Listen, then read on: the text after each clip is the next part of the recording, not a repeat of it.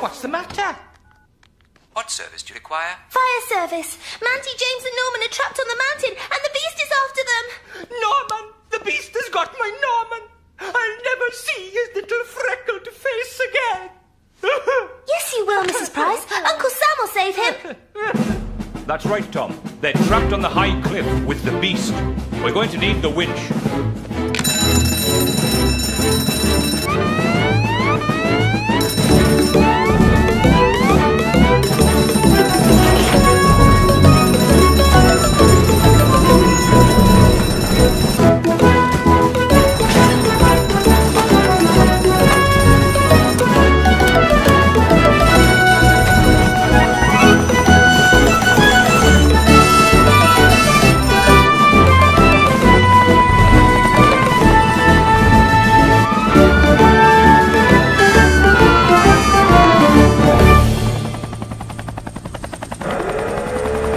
On, Fireman Sam. No time to lose.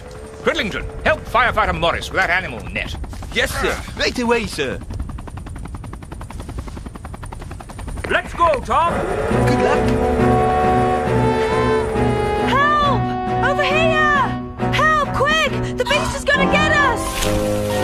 I'll save you! No, don't, Norman! I got him!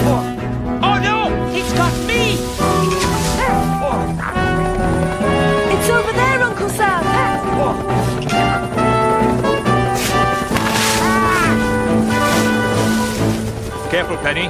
We don't know what we're dealing with here. I saved them, Fireman Sam, and I caught the beast. Woolly? The beast, he was only woolly. But the promise is a promise. Is your bigger reward. You were very brave, Norman. Jumping in that bush when you didn't know what was there. What I don't understand is how Woolly got covered in mud in the first place. Hmm, it's funny, isn't it? How you got covered in mud too. What's that, Sarah? I saw Norman all muddy this morning. Norman? Have you got something to tell me? Well, I only pretended Woolly was the beast as a joke. I didn't mean any harm. Besides, he liked rolling in the mud. Trust Norman. Norman Price, this is no laughing matter. You've wasted a lot of the fire service's time. What if somebody had really been in danger? We wouldn't have been able to help them. Sorry, I didn't think about that.